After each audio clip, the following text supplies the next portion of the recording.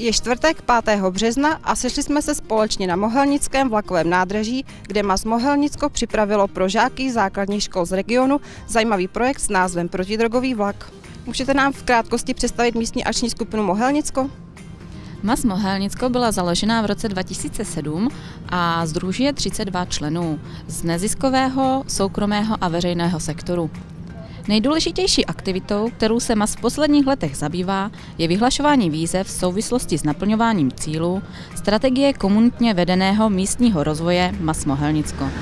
Díky vyhlašování výzev v různých oblastech zaměření vznikají na Mohelnicku například nové cyklostezky, autobusové zastávky, opravují se kulturní domy, v období letních prázdnin probíhá několik turnusů příměstských táborů s různými zaměřeními. Zapomenout nesmíme ani na obce, zemědělce a další drobné podnikatele, kteří také úspěšně čerpají dotační prostředky.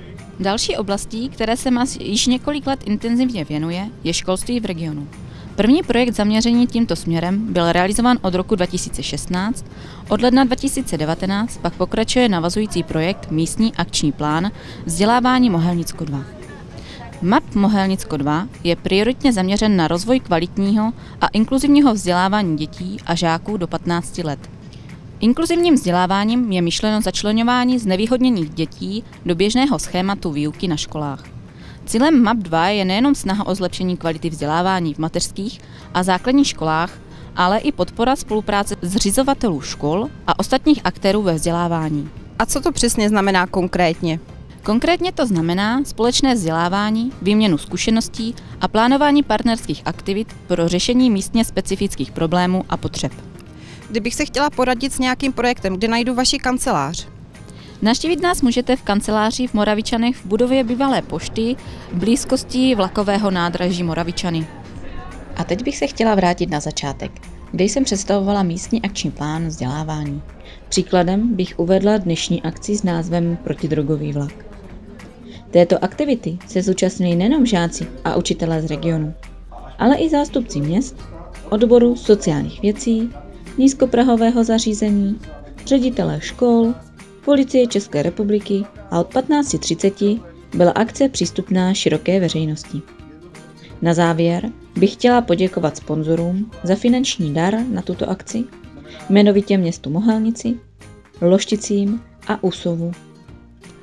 Můžete nám prosím v krátkosti představit váš projekt?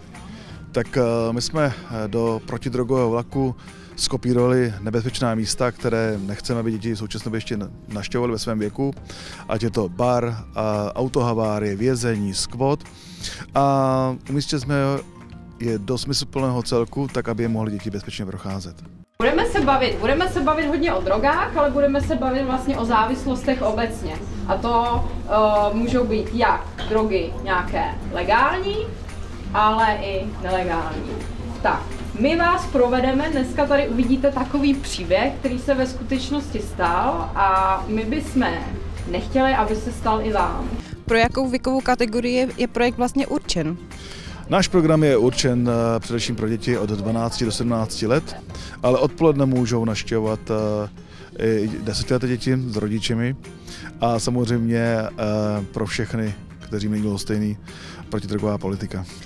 Vlak zastavuje jen u nás v Mohelnici nebo ho návštěvníci můžou potkat i jinde po republice? Tak popravdě jsme na startu naší jarní tour. Včera jsme byli v Jeseníku, dneska jsme v Mohelnici a pokračujeme směr Moravskoslezský kraj a Zlínský kraj. Celkem máme letos objedených 100 měst a 60 tisíc dětí. Zkusíme si vzpomenout, co tam všechno bylo za drogy.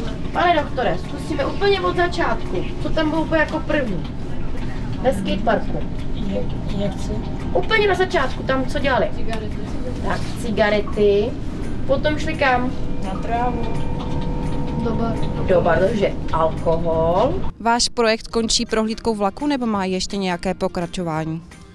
Vlakem to nekončí, vlakem to naopak začíná. Děti si projdou 90-minutovým příběhem, my jsme nechtěli šokovat nebo jim co zakazovat, naopak chceme inspirovat ke zdravotnímu životnímu stylu. Děti odejdou, zabouchnou dveře našeho projektu a máme další návazné programy. Policie České republiky jde za dětmi do školy s návazným programem, který se jmenuje To je zákon, kámo. A děti znovu hodnotí pomocí takové interaktivní metody, jak byl porušen zákon. Znovu jim promítán film z našeho filmu, který už znají, a jsou rozděleni do pěti policejních skupin a zároveň můžou se radit spolu a hodnotit, co je třeba přestupek, co je trestný čin. Velmi je, to, je to velmi důležité, protože my pak můžeme porovnat výstup na začátku vlaku a na konci té dané té dané interakce přímo policisty ve škole, takže můžeme porovnat, o kolik se nám zvýšilo právní povědomí na začátku našeho vlaku a při odchodu policisty ze školy. Můžete nám ještě říct, proč uh, vlastně projekt vznikl a proč vlak? Vlak má obrovskou výhodu. Je mobilní, dneska jsme v Mohelnici, zítra jsme v Olomouci. Je to de facto mobilní pojízdné science centrum, kde vlastně můžeme půjčit městu tuto danou věc.